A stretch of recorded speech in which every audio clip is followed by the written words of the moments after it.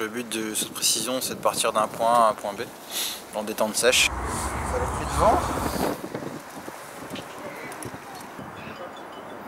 Les difficultés en fait c'est déjà euh, la, surface, euh, la surface sur laquelle on va atterrir, la distance et euh, après surtout le mental qui va, qui va nous freiner.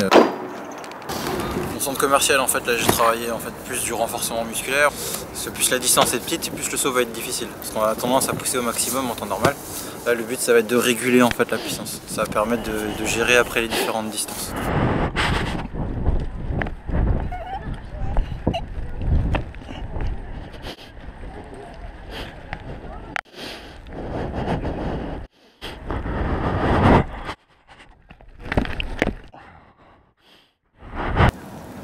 De droit, ouais, c'était euh, l'un de mes spots favoris euh, quand, j'avais 24 ans.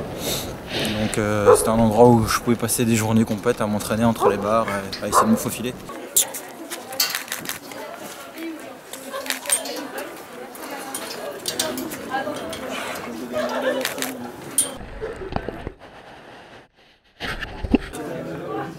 Du fait que je suis quelqu'un de très grand et qu'à l'époque au parcours les préjugés étaient que un grand ait plus de masse au filet qu'un petit. Donc je passais mon temps à m'entraîner pour essayer de démontrer le contraire.